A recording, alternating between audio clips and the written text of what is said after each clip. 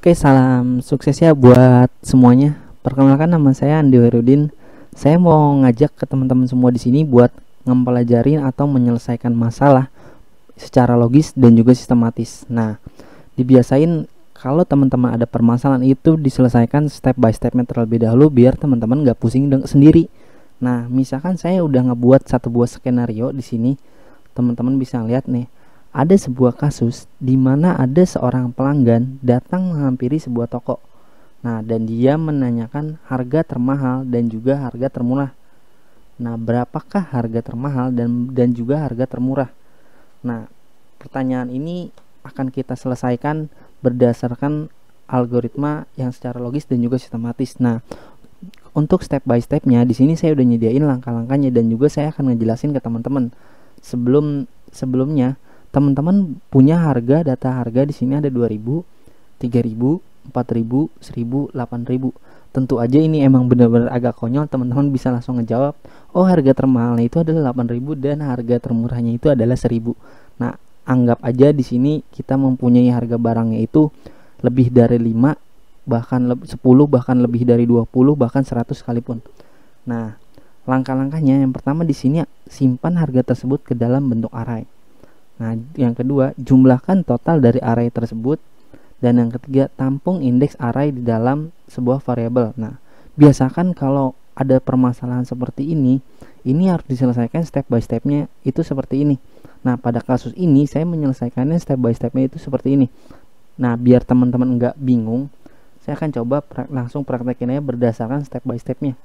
Oke, di sini yang pertama ini saya agak kecilin sedikit. Nah, di sini kita akan lihat pertama di sini kita simpan harga tersebut ke dalam bentuk array oke langsung aja teman-teman ke editor ya teman-teman. Nah pertama simpan harga tersebut ke dalam bentuk array misalkan ini harga saya buat dan sini adalah array oke untuk harganya di sini saya copy aja.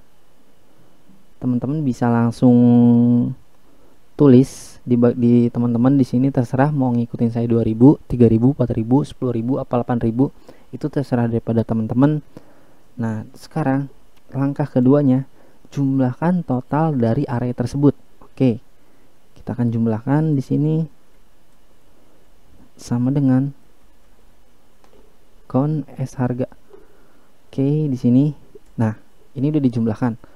Langkah ketiga, tampung indeks array pertama di dalam sebuah variabel minimal. Oke, okay. kita akan tampung di sini s minimal. Oke, okay, supaya nggak bingung nanti kita tampilkan dulu deh. Ini benar nggak totalnya? Seperti ini bisa di save teman-teman bisa save. Teman-teman bisa ke browser di sini, teman-teman bisa refresh. Oke, di sini ada 5 data harga kita. Lihat 1 2 3 4 5. Oke, sampai di tahap ini ini udah benar kita akan lanjut ke tahap berikutnya. Nah di tahap berikutnya ini tampung indeks array pertama di dalam sebuah variabel minimum minimal. Dan yang ketiga tampung indeks array pertama di dalam sebuah variabel maksimal. Oke yang pertama kita buat minimal terlebih dahulu di bagian sebelah sini. Minimal sama dengan S harga indeks pertama yaitu 0 di sini Nah, kenapa 0? Karena array itu dimulainya dari 0. 0, 1, 2, 3, 4. Dan di sini kita udah tampung. Dan sekarang kita akan ngebuat sebuah maksimal sama dengan harga indeks pertama juga. Oke. Sampai step by step by step permasalahan ini, ini akan terpecahkan. Perhatikan di nomor 4 ini. Yang keempat ini, lakukan iterasi berdasarkan jumlah total yang ada di array ini yaitu di dalam variabel sum. Nah, kita akan membuat sebuah iterasi di sini. Pertama, saya akan membuat satu buah for di sini si sama dengan satu dan si ini kurang dari sama dengan sum. Nah, terus kita akan ngebuat satu buah plus plus ini. Nah, sampai di tahap ini teman-teman bisa lihat kita udah ngikutin Langkah keempat, lakukan iterasi berdasarkan jumlah total array. Nah, kita udah membuat for SI sama dengan 1, SI kurang dari sama dengan sum, maka dia akan melakukan sebuah iterasi dengan SI++. Nah, sekarang langkah kelima lakukan kondisi di langkah ketiga dan empat berdasarkan berdasarkan data array. Lakukan kondisi di setiap langkah ketiga dan keempat berdasarkan data arraynya. Oke, kita akan coba lakukan kondisi ketiga dan keempat berdasarkan data arraynya. Caranya ini jika S harga ini berdasarkan data arraynya ini S harga sama dengan SI kurang dari lebih besar dari sama dengan S maksimal di sini maka kita akan tampilkan S maksimal ini sama dengan S harga sama dengan SI. Nah, ini adalah menampung harga harga maksimalnya. Lihat di tahap ini. Lakukan kondisi di langkah ketiga dapat berdasarkan data arraynya. Jika kondisi tersebut kurang dari variabel minimal, tampilkan nilai minimalnya. Jika kondisi tersebut kurang dari variabel maksimal, ini tampilkan nilai maksimalnya. Ini saya salah nulis. Oke, sekarang kita akan coba yang minimal yang maksimalnya dulu deh. Ya, di sini kita akan coba maksimal. Oke, maksimalnya ini harga dan jika harga ini SI ini lebih dari, lebih besar daripada maksimal, maka S maksimal sama dengan harga SI.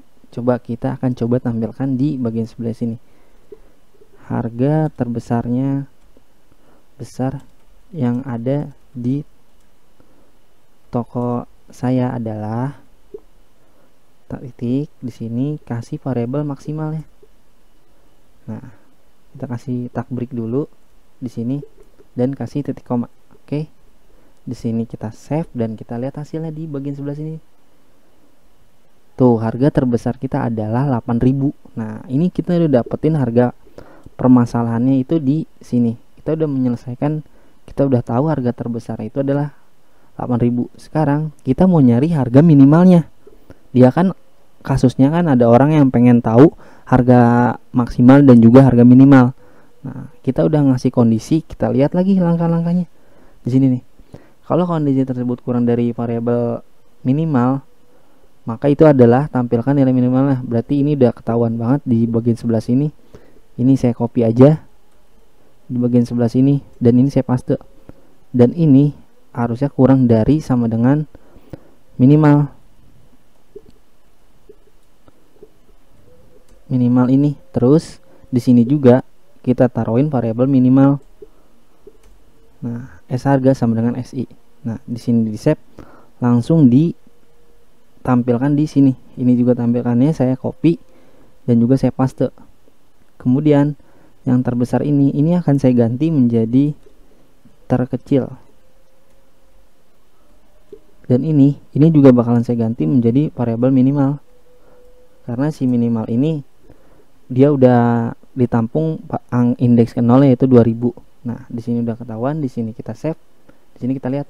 Tuh di sini udah ketahuan oh berarti harga terbesar yang ada di toko saya adalah 8000 dan harga terkecil yang ada di toko saya itu adalah 1000 benar dong di sini adalah 1000 kan data barang kita itu disimpan ke dalam bentuk array dan yang pertama yang kedua kita jumlahkan array tersebut untuk dilakukan kondisi setiap iterasi yaitu di sini Oke, dan kita nampung juga variabel minimal dengan harga indeks 0 yaitu dua yaitu 2000 dan harga maksimal ke indeks 0 itu adalah 2000 juga.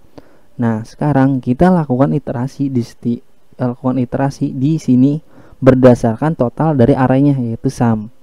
Nah, kedua, kita akan melakukan kondisi harga ini kan nampung variabel harga dan indeks SI ini ini kita udah melakukan perulangan berdasarkan total arraynya. Jadi kita lakukan kondisi berdasarkan variabel maksimum sama dengan yang ada di bagian sebelah sini.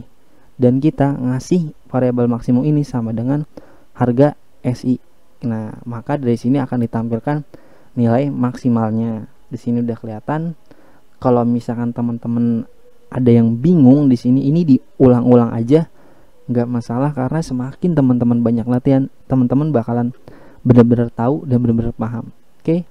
itu aja dulu dari saya kalau misalkan teman-teman bingung ini naruhnya di mana saya udah ngebuat video-video array yang sebelumnya ada di video saya gitu maksudnya ini lanjutan dari materi array yang ada di list PHP belajar dasar-dasar list belajar dasar-dasar PHP. Oke. Sekian aja dari saya. Mudah-mudahan ini bisa bermanfaat dan mudah-mudahan teman-teman bisa paham, bisa pinter. Salam sukses dari saya Andi Herudin. Saya ucapin terima kasih.